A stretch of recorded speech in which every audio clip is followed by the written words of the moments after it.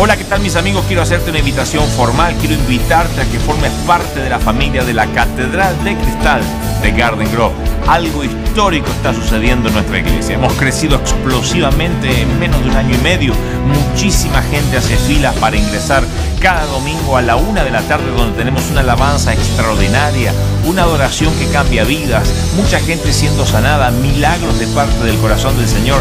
La presencia del Señor literalmente ha venido a posar, a hacer habitáculo, nada menos que en la Catedral de Cristal. Y yo quiero invitarte a que formes parte, a que vengas. Algo histórico, algo bueno está ocurriendo. Yo te doy mi palabra de honor de que cuando llegues a la catedral no vas a salir igual.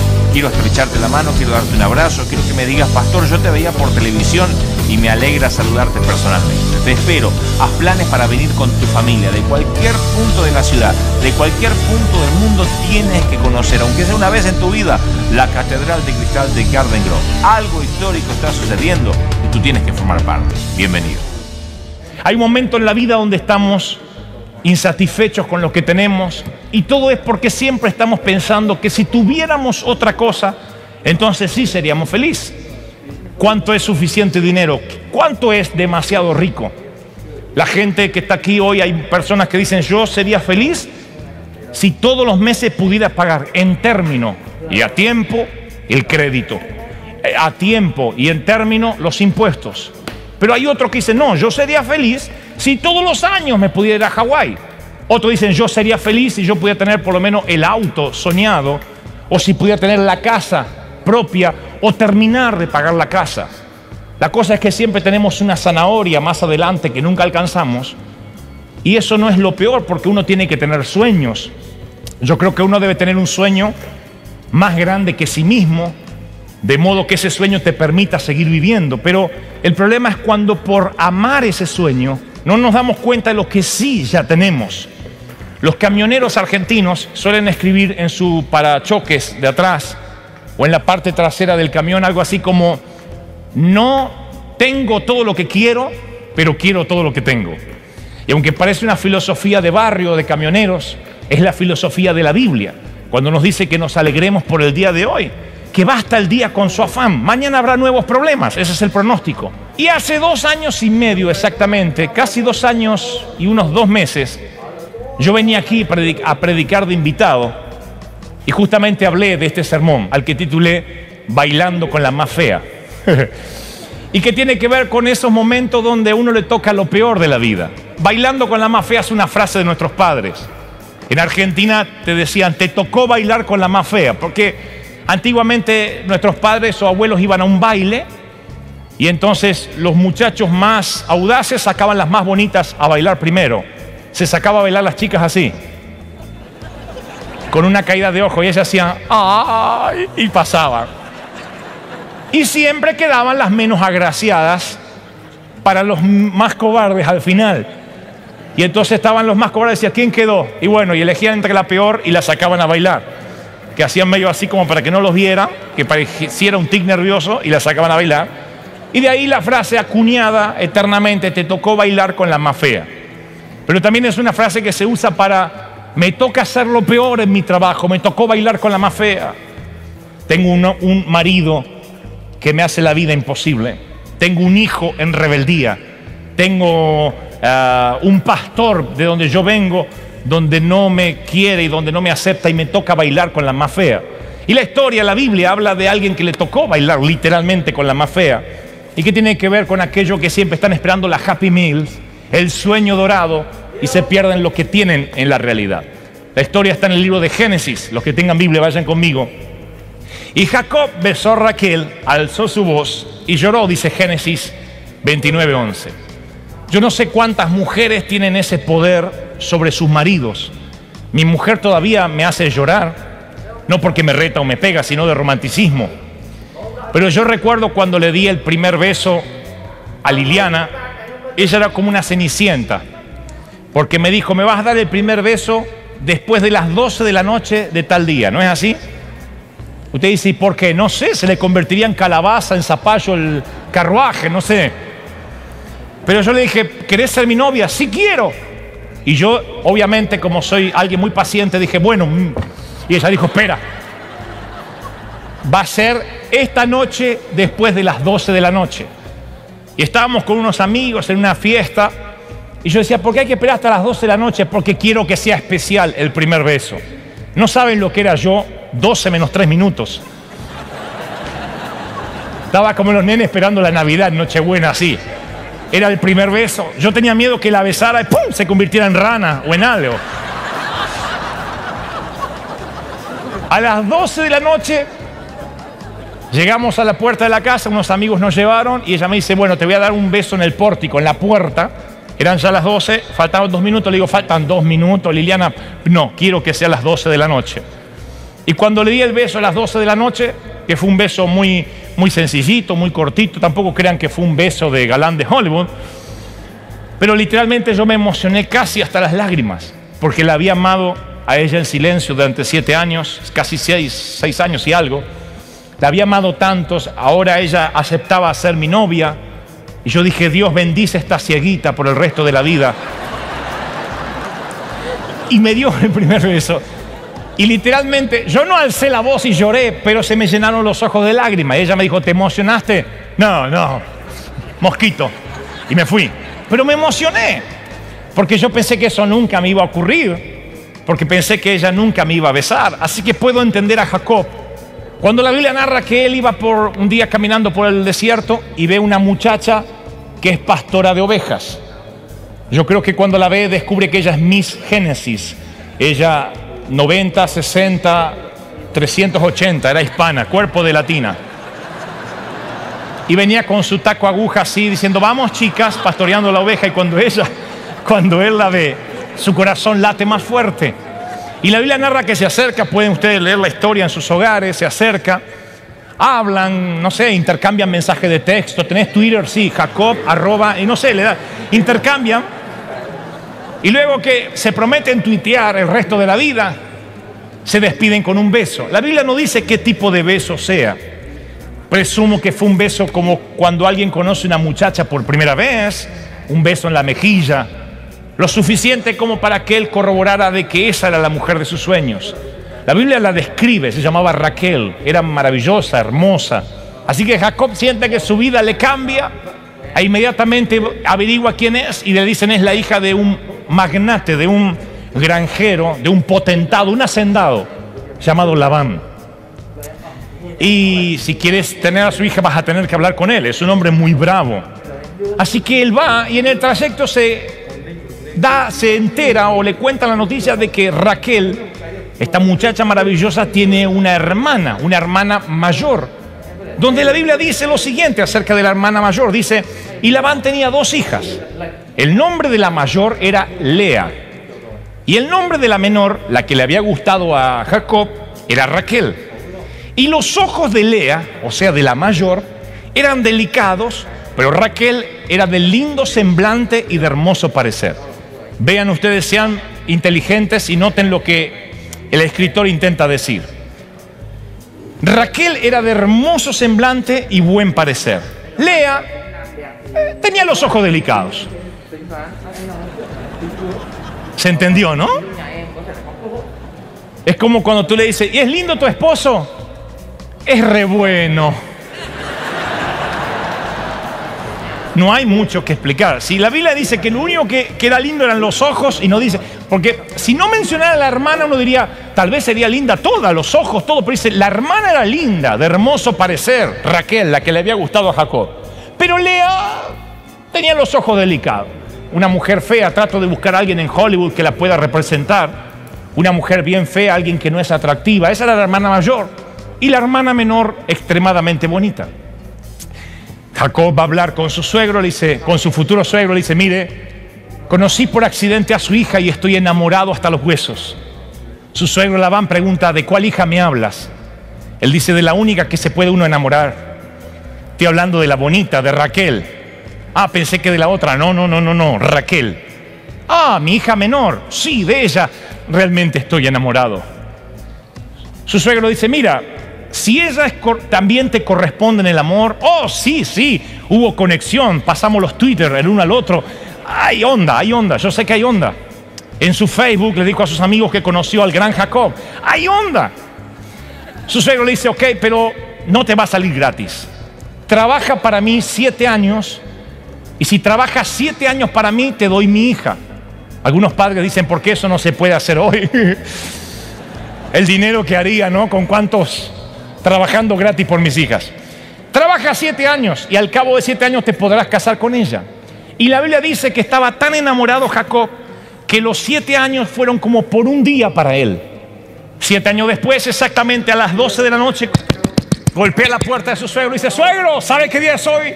Hace siete años yo le vine a pedir la mano de su hija y me corresponde casarme mañana. Y su suegro dice, ey, ey, ey, ey, muy apurado como todo hispano, espera. Vamos a hacer una fiesta de bodas. Mi hija nunca ha estado con un hombre. Esto no es como un casamiento en Las Vegas. Vamos a hacerlo bien. Una gran fiesta, que se case como Dios manda, que alguien le dé la bendición y podrás pasar el resto de tu vida con ella.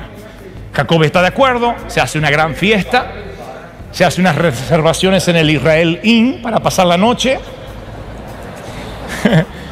y se hace una gran fiesta, traen una gran orquesta y allí está la novia, pero antes de la fiesta obviamente el casamiento.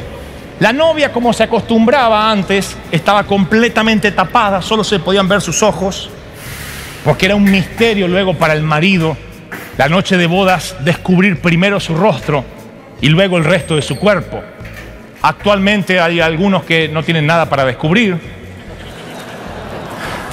Y si quieren hacer algo original la noche de bodas, duermen. Pero esta muchacha iba a entregarse por primera vez, así que se cubre toda. Él no la puede ver, solamente descubre sus ojos a lo lejos. Él está con un smoking negro parado así frente al altar. Y ella entra de la mano de su papá. Es el día más maravilloso para Jacob. Dice, aceptas a esta mujer como tu futura esposa. Sí, ni siquiera le puede dar un beso. Todo ha de ocurrir allá en la noche de bodas. Y luego se van a bailar y hacen la fiesta cantan una canción. Yo siempre imaginé que cantaron, bailar pegados es bailar, igual que baila el mar, con los delfines, y baila toda la noche con su amada. Ella, él siente su mano y siente que un frío le recorre por la espina dorsal. Y finalmente abren los regalos, o no sé, juntan los regalos en el carruaje, le atan unas latitas en el carruaje, dice, eh, recién casados y se van al Holiday Inn ella cuando llega a la puerta del, hotel, todavía ya está toda cubierta, tapada. Le dice, vas a alzarme como en las novelas, por supuesto. Y él la alza así, patea la puerta, la deposita en el lecho matrimonial y ahora están esperando detalles. Que no se los daré. Porque aquí es como las películas, se apaga la luz y solo se escucha una canción de fondo. Creo que ellos se embriagan de amor hasta el amanecer. Él ha esperado siete años ese momento. Ella dice, por favor, apaga la luz del velador. Y él dice, no, te quiero contemplar, te he esperado años. Y ella dice, sí, pero entiéndelo, es mi primera vez y apaga la, la luz del velador. Él la apaga. Y hasta que los rayos del sol no irrumpen hasta las seis de la mañana, ellos ni se dan cuenta de que la noche pasa como si fueran solo cinco minutos. Eso, damas y caballeros, es estar enamorados.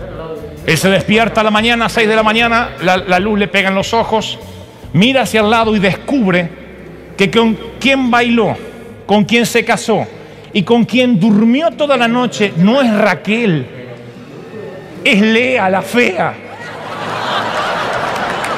Es la hermana. Léanlo en la Biblia, no estoy inventando, no es una novela, esto está en la Biblia el padre le cambió con un par de copas de más, le cambió el novio a la muchacha. Y le dio a la que no podía casar, dijo, la caso ahora no la caso más. Y le, le encajó la grande. Y cuando él se despierta dice, ¿qué hace esta cosa en mi cama? Y Lea lo mira y le dice, hola, mi amor. y él dice, no lo puedo creer, ¿qué hace esa cosa en mi cama? había bailado toda la noche con la más fea y lo que es peor, había dormido con la más fea. Si quieren ver a un hombre enojado, acompáñenme y vean a Jacob. Vean cómo golpea ahora la puerta de su suegro y dice, suegro, salga inmediatamente. Ni siquiera se saca su pijama de Winnie Pooh, Jacob, así como estaba. Le dice, salga, me dio la fea, esa no es la que amo. Y su suegro dice, hey, hey, hey, hey, no te enojes. ¿No sabes la ley de Israel? ¿Cómo se va a casar mi hija menor si primero no está casado mi hija mayor? Es la ley. Primero se casa la mayor y luego la menor. Te he hecho un favor. Si esperamos que se case esta fea para que tú te puedas casar con la linda, vamos a esperar por años que aparezca un cieguito. Ahora te casaste con la fea, quédate con ella y te daré la otra. Sí, pero eso es injusto. Yo no amo a esta mujer. Me engañaste. Anoche bailé con la más fea. Bueno, pero eran las letras pequeñas del contrato. si no te casas con la mayor, no te casas con la menor. Así que si quieres la menor, trabaja otros siete años para mí. Oh, ese suegro era muy hispano, papá argentino, mamá cubana, colombiana, algo de eso. Siete años más, sí, te casas ahora. Yo la, te la doy ahora, te la doy ahora. Pero te quedas siete años más trabajando gratis. 14 años por la mujer de su vida. ¿Creen que dudó? No dudó, él amaba a Raquel. Pero ahora también estaba casada con Lea, con la fea. Y él dice, ok, suegro, quiero el casamiento y ahora será como yo quiera, rápido, sin fiesta, sin bailar pegado, nada de tonterías, rápido. Y la quiero ver sin tul, porque ahora eres capaz de darme tu hijo. Yo quiero verla.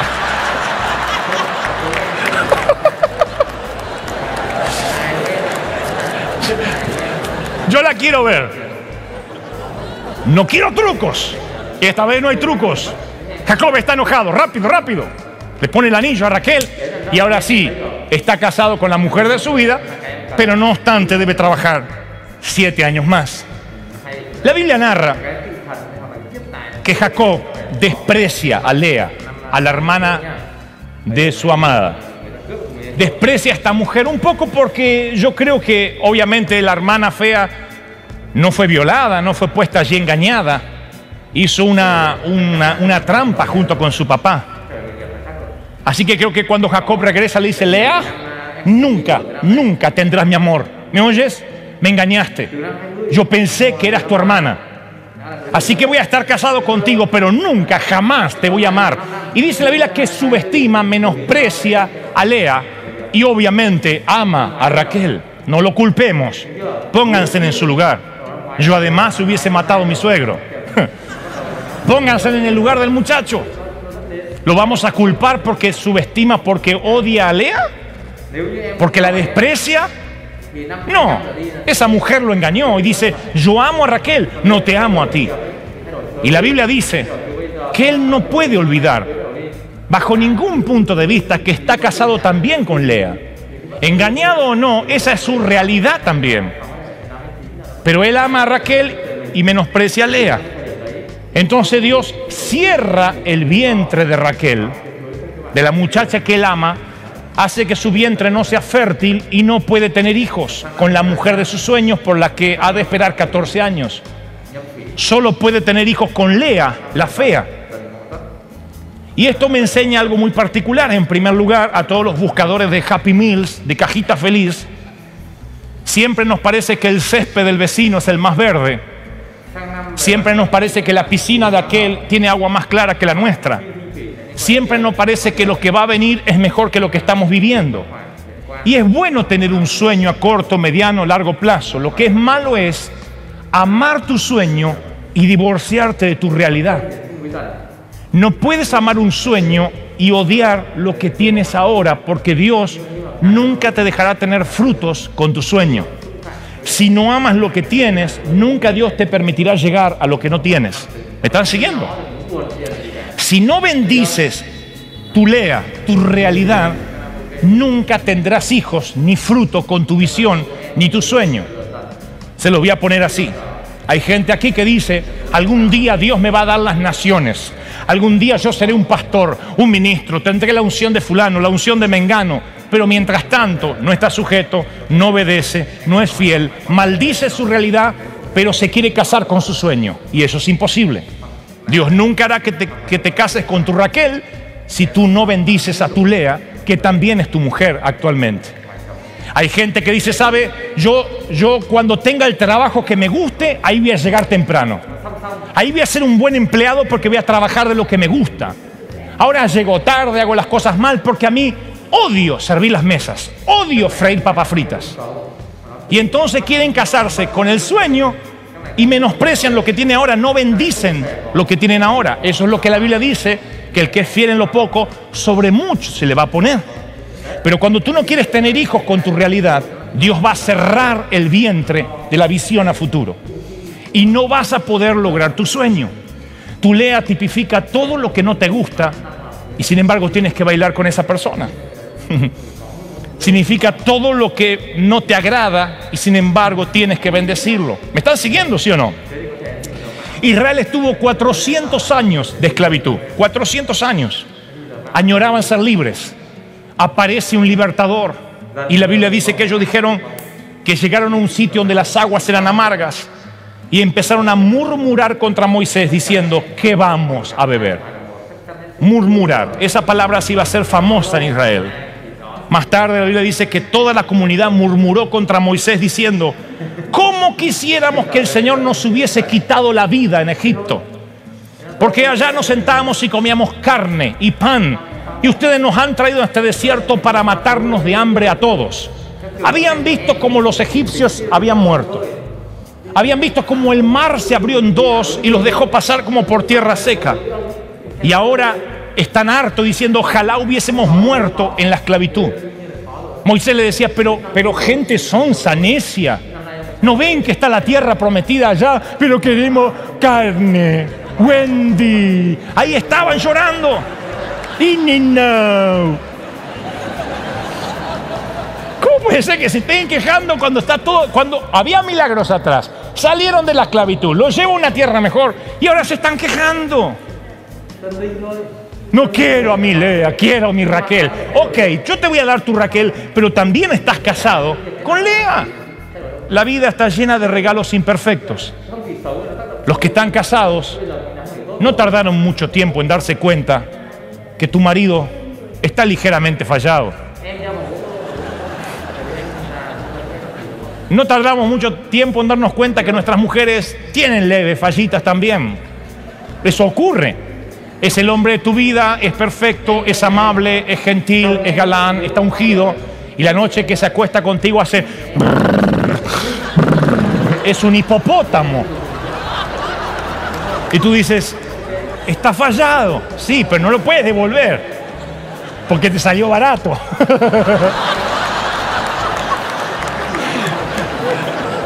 no puedes entregarlo de vuelta. ¿No? Ligeras fallas. Él se adelanta a ti y dice, voy al baño y tú entras detrás de él. Y tú dices, no pudo haber salido eso dentro de él, de dentro de él. Es una ligera falla. Tal vez estaba bueno por fuera, pero se putrefacció. Pudrió por dentro.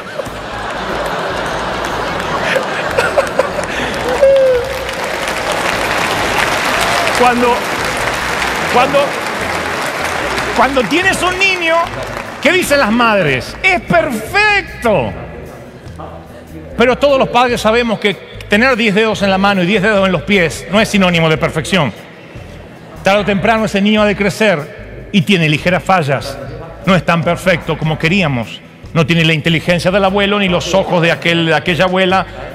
No, es tan perfecto. Para nosotros sí lo es. Pero para ser brutalmente honesto, no, no es la perfección que imaginábamos. Cuando eres niño, tus padres son perfectos. Tu papá es Superman.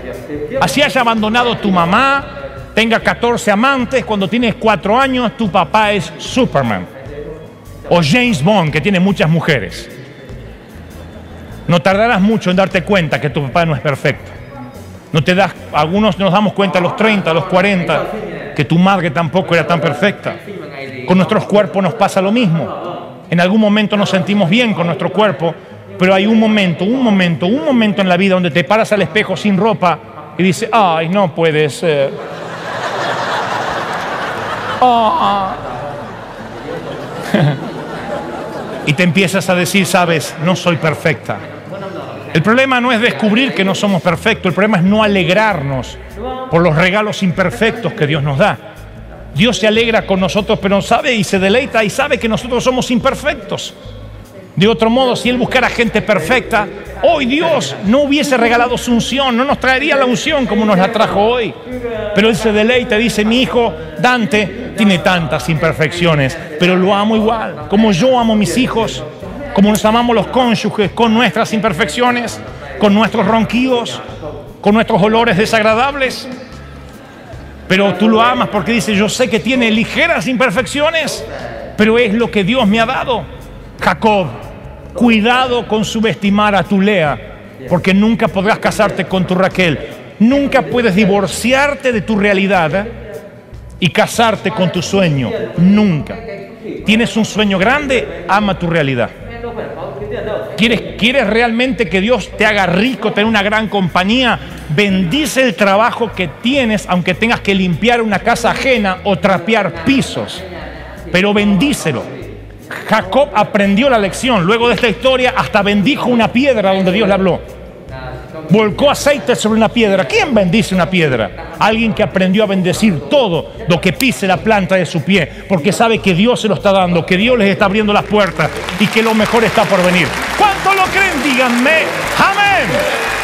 Bendigan, bendigan, bendigamos el sitio, bendigamos este país, con los pros, con los contras, bendigamos el sitio donde nacimos, el sitio donde Dios nos trajo, demos gracia por eso. Jacob, no subestimes a Lea, porque seis de las doce tribus de Israel serán descendientes de Lea.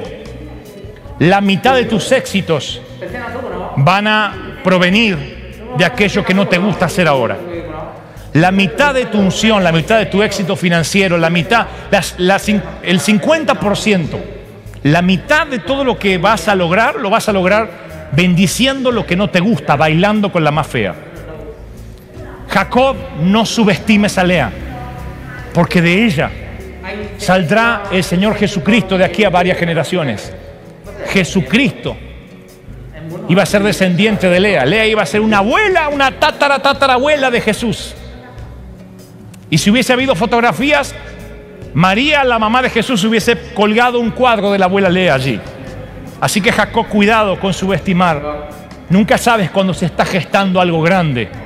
No lo subestimes. Porque Dios dice, quiero saber si lo estás haciendo bien. Quiero saber si estás poniendo lo mejor. Si estás dando lo mejor, si estás bendiciendo a tu Lea. Y la Biblia dice que él se llegó a Lea y tuvo hijos. Vino Lea la fe le dijo, Jacob, yo sé que no me miras como a tu hermana. Yo sé que cuando salgo envuelta en una toalla, tú te tapas los ojos. Pero si no tienes hijos conmigo, no los vas a tener con nadie. Y él se llega a su mujer y tiene hijos. Y una vez que tiene hijos con la fea, que tiene hijos con, lo que, con, con quien ella, él no quiere, luego el vientre de Raquel se hace fértil. Pero él primero tuvo que amar su realidad. Hoy Dios nos trajo aquí para decir, quiero que ames tu realidad. Quiero que bendigas lo que Dios te dio. Yo quiero que se pongan de pie todos los que hoy quieren bendecir su realidad. Los que dicen, Señor, quiero dar gracias por aquello que no me gusta. No agradezcan por lo que va a venir. Hoy no oremos, hoy no oramos por el sueño, sino por lo que ya tienes. ¿Cuántos lo creen? Díganme amén.